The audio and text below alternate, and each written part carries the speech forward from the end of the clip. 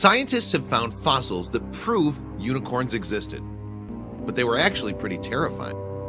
Millions of children all over the world have grown up with tales of unicorns, with their imaginations fed by the pretty creatures in movies like Legend and the Harry Potter franchise, not to mention My Little Pony.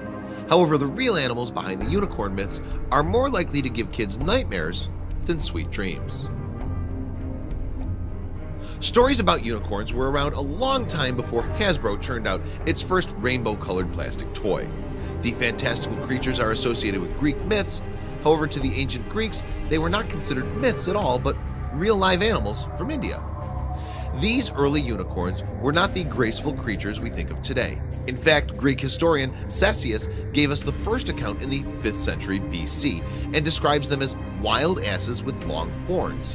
We hear of them again from Pliny the Elder in the 1st century AD, who says they had the head of a stag, the feet of an elephant, and the tail of a boar, while the rest of the body is like that of a horse. The single-horned magical beast is not only a European myth, but China and Japan both have their own versions of unicorns, the Qilin and Kirin respectively. The Qilin was said to appear before the birth or death of someone important. It wasn't particularly horse-like though, with a curled horn and a scaly green deer's body and a lion's head. Some people believe the Bible contains references to unicorns, although most scholars say this is actually a mistranslation of the Hebrew word Re'em. These creatures are mentioned nine times in the Bible, where they're symbols of strength, but the word most likely refers to an ancient variety of ox. Strength continued to be one of the attributes assigned to unicorns into the Middle Ages. An Alexandrian merchant and traveler from the 6th century, Cosmas Indicopleustes, passed on Ethiopian accounts of the unicorn being a ferocious beast with its power originating in its horn. Saint Isidore of Seville, who lived in the 7th century, also described the unicorn as a strong animal able to kill elephants by stabbing them in the stomach. During this time, unicorns weren't all mystical horses yet, sometimes still being described as more like asses or goats. In medieval times, many also thought that unicorn horns were composed of a substance called alicorn. They were believed to have magical properties capable of neutralizing poison and curing mental and physical disease. One group to profit especially from this belief were the Vikings, who ran a thriving trade in narwhal horns from the Arctic Ocean, which they sold as unicorn horns. Other real animals that may have inspired the unicorn myth are the Oryx, Eland, and Oryx, and perhaps two-horned animals that lost a horn through mutation or a fight. Another possibility is the Indian rhinoceros, and as we'll see, something like a rhinoceros might actually be the origin of the unicorn myth. Then in 1808, a newly discovered species called Elasmotherium was named after Gotthard Fischer von Waldheim, director of the Natural History Museum at Moscow State University. Previously, the Elasmotherium had only been identified by fossils and was believed to have been extinct for 350,000 years. Brandt suspected the Siberian Elasmotherium of being the basis of a Tatar myth about a unicorn with a gigantic horn. However, since the Elasmotherium was thought to have disappeared about 350,000 years ago, no humans would have been around to see them.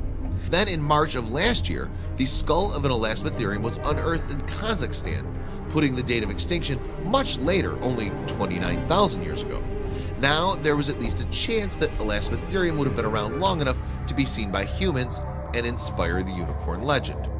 Unfortunately, for those who like to think of unicorns as the graceful white-haired horses that feature on posters, usually with a rainbow in the background, the Elasmotherium was not quite so dainty. Rather than being an ethereal pony, it was closer to being a terrifying monster rhinoceros. The Siberian Elasmotherium would have been an intimidating sight, standing around 6 or 7 feet tall and 15 feet long, most likely covered in fur like a mammoth. These mighty animals weighed 4.5 tons. No definite size has yet been given for the horn, but it may have been up to 6 inches long. As its name suggests, the Siberian Elasmotherium roamed western Siberia. They were also to be found in southwestern Russia and further south into eastern Europe. Despite its fearsome appearance, it was a herbivore, like the modern rhinoceros grazing over large areas. Most likely the south of western Siberia was a refugium where this rhino preserved the longest in comparison with the rest of its range, paleontologist Andrey Shpansky told Phys.org. there's another possibility that it could migrate and dwell for a while in the more southern areas. Although it's possible that modern humans encountered the Elasmotherium, it's not entirely certain that they did. Some, like cryptozoologist Willy Ley, suspect that stories about the species have survived from the prehistoric era, but some accounts like that of 10th century traveler Ibn Fadlan seem to describe the giant rhinoceros too accurately to be merely retelling a myth. Unicorns that look a bit more like Elasmotherium than the western version are found in stories from those regions where the animal once lived.